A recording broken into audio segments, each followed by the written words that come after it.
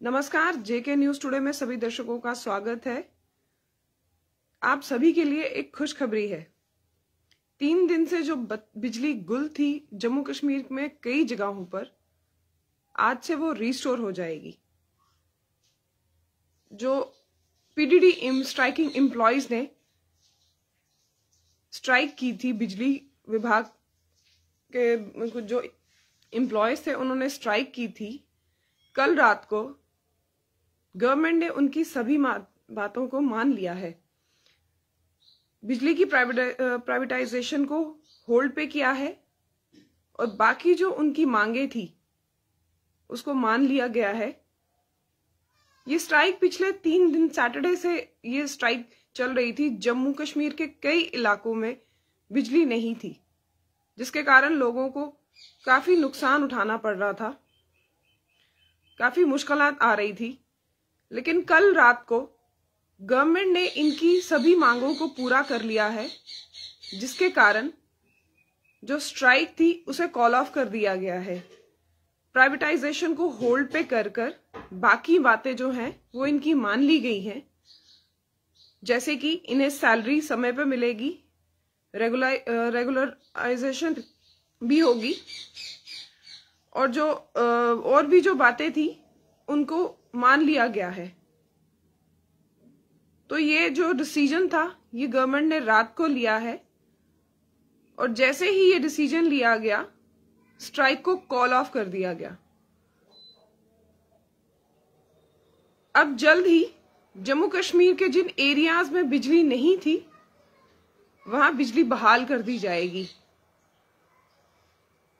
काफ़ी समय से लगभग तीन चार दिन से ये स्ट्राइक चल रही थी। काफ़ी एरियाज़ में लाइट भी बंद थी, जिसके कारण लोगों को काफ़ी मुश्किल का सामना करना पड़ रहा था। पीडीडी एम्प्लॉय की मांग थी कि जो प्राइवेटाइजेशन है बिजली की, उसे रद्द किया जाए। और भी उनकी जो मांगे थी कि सैलरी समय पे मिले, ऐसी कुछ मांगे थी उनकी, जो सरकार से निवेदन कर रहे थे कि उन्हें वापस लिया, उन्हें रद्द किया जाए। तो अब रात को जो सरकार है, सरकार ने उनके सभी डिसीजंस को, सभी बातों को मान लिया है प्राइवेटाइजेशन को होल्ड पे कर लिया है।